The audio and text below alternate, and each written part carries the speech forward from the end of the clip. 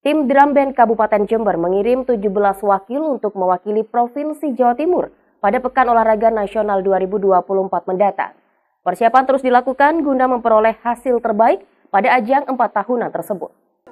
Seperti yang terlihat di GOR PKPSO Kecamatan Kaliwate selasa malam, persiapan menuju PON 2024 yang akan diselenggarakan di Provinsi Aceh dan Sumatera Utara, Oktober mendatang terus dilakukan. Para punggawa yang bakal memperkuat tim drum band Provinsi Jawa Timur ini terus digembleng sebelum terjun di 17 sektor perlombaan cabang olahraga drum band PON 2024. Mulai dari berbaris campuran, baris berbaris jarak pendek putra-putri, serta lomba ketepatan dan ketahanan baris berbaris putra-putri. Berbekal persiapan yang telah dilakukan selama 8 bulan terakhir, baik secara fisik maupun mental bertanding, Andi Hasan pelatih utama tim drum band Jember optimis anak asuhnya mampu membawa prestasi terbaik bagi Provinsi Jawa Timur. Bagi progres untuk lomba indoor ada dua, LBB, lomba baris berbaris dan lomba unjuk gelar atau LUG.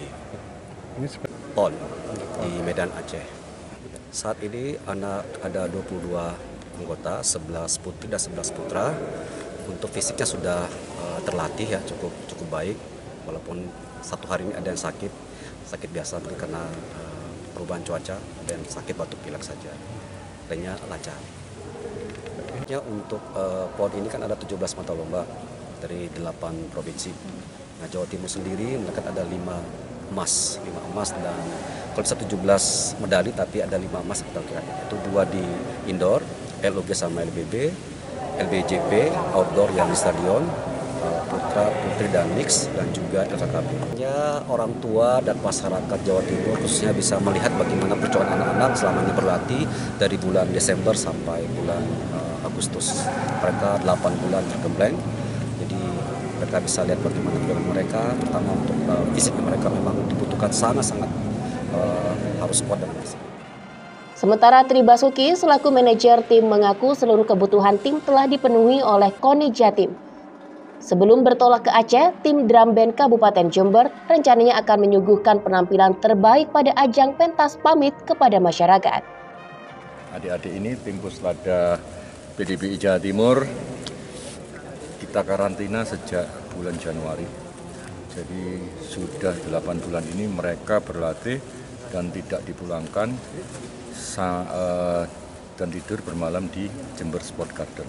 Insya Allah semua materi 17 mata lomba telah mencapai target pada awal Agustus seperti yang kita uh, programkan. Jadi ada 17 medali yang akan kita ikuti dan mudah-mudahan kita bisa mencapai target yang dicanangkan oleh KONI Jawa Timur. Adapun 5 emas, 5 perak, 3 perunggu. Dukungan KONI seperti apa Pak? Alhamdulillah dukungan KONI Jawa Timur memberikan support seluruh uh, akomodasi, konsumsi, makan, uang saku, semua untuk atlet selama uh, kita puslada. Lebih lanjut, Tri Basuki meminta doa dari seluruh masyarakat Jember untuk menemani perjuangan para atlet drum band di Pekan Olahraga Nasional ke-21.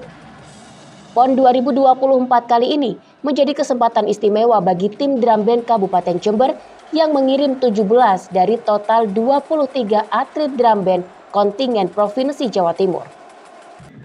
Anas Hidayat, FTV Jember, melaporkan.